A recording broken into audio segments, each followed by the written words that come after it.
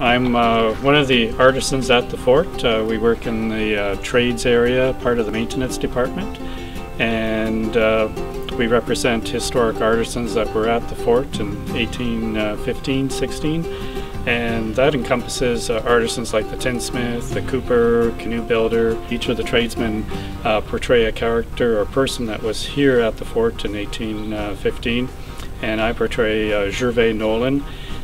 he's an Irish French Canadian from uh, St. Charles area in uh, Quebec.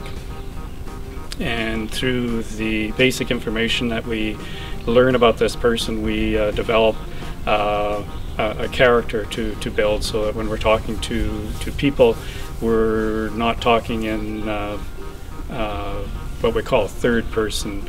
We, we, do what we call flexible role playing. So we talk as if we're here in 1815 that I am Gervais Nolan, but uh, if there's a, a, need for answering a modern question with flexible role playing, we can come out of that uh, particular role.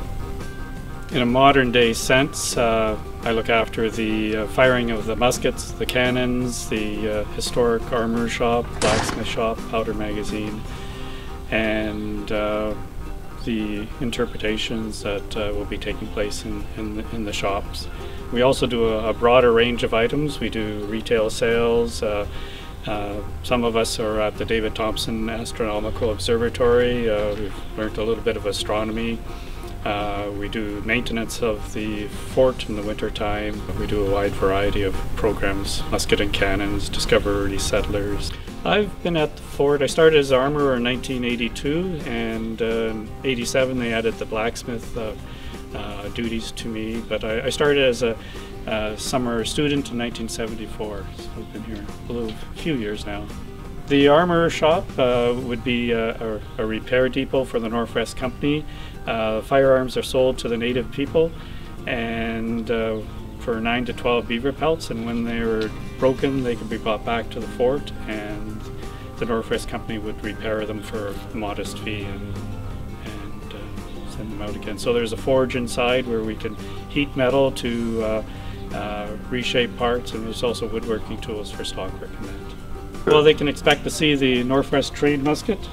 Uh, this is the standard trade musket of, of, the fur trade. It's easily identified by the dragon serpent on the side. Uh, otherwise, a fairly plain gun, but uh, you can uh, feel the weight of the firearm and uh, you can fire the musket off. Or you can help pump the bellows if we're doing metal work. So there's a number of hands-on activities that can take place in the armor shop. Uh, I learned by trade. Uh, there was a, a, gunsmith here before me, John Robertson, so when I was a summer student. I picked up a, a number of uh, uh, skills through him. Uh, there were two blacksmiths here, Raphael Alcetti and uh, Daniel McGoy, and uh, was able to pick up some uh, knowledge from them. And the rest is research and uh, looking at an artifact, trying to figure out how it was actually made, and doing that. The skill of working with metal uh, it's still kind of exciting uh, after all these years to put a square piece of metal into the forge, heat it up to an orange heat, which would be about 2200 degrees, and then hammer it and shape it into two things.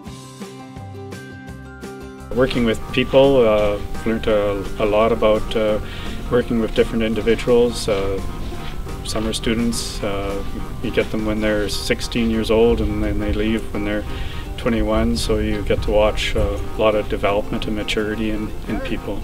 I think all the uh, the trades here are uh, well, they're all archaic, so uh, there there will always be a, a small niche for uh, uh, the old trades, keeping them alive. And that there's people that are interested in history and and the the old skills and. I, I, think the future is, is quite secure for uh, the older trades.